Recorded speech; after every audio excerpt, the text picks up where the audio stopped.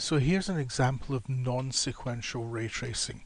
You can see here that I have a beam splitter, I have a ray firing in, uh, and I get a back reflected ray at this interface.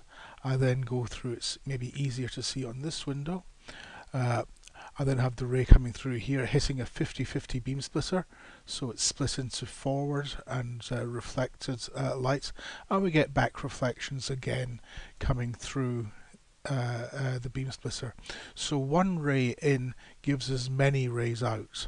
And this is one of the things that we use non-sequential ray tracing for, is because rays find their own way through the system. There's not a table that tells the ray where it's going to go to next. The ray is simply launched and based on what it encounters, it splits, it scatters, it reflects, it refracts, whatever. In this particular case, here in the editor, you'll see we defined a source ellipse, which has just got one ray.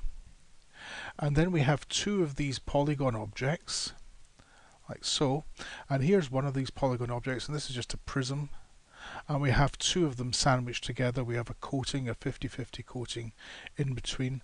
And then we have four detector objects around here that show us uh, where all the light is going to.